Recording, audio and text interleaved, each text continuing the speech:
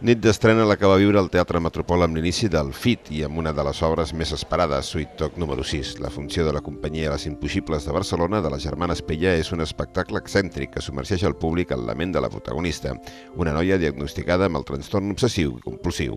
Visibilitzar el caos, el temor i les intimitats de la vida amb aquesta malaltia, sigui patint-la en primera persona o acompanyant el malalt, és el leitmotiv d'una obra que fa qüestionar l'espectador si realment vivim en una societat sana, tot plegat amb un llenguatge propi, on es fot la dansa, la música, música, el teatre i la performance. Jo estic diagnosticada de TOC des de fa 12 anys i doncs, la meva germana ha sigut la persona doncs, que m'ha acompanyat sempre en tot aquest procés i també se li dona veu molt a la persona que acompanya no? I, i, i dir com se sent la persona que acompanya, no? que està, diguéssim, invisibilitzada també perquè resulta que, doncs, que, que ha d'acompanyar una persona amb un patiment i un dolor gran i on està el seu espai de patir i on està el seu espai de, de, de, de poder viure aquest dolor. Un primer espectacle de teatre contemporani dels 11 programats per a aquesta sisena edició del Festival Internacional de Teatre de Tarragona, Noves Dramatúrgies. Fins aquest dissabte, espais com el Palau Firal, el Cir Romà o el Teatre Magatzem acolliran representacions de companyies estatals i de Nova York, Londres o França.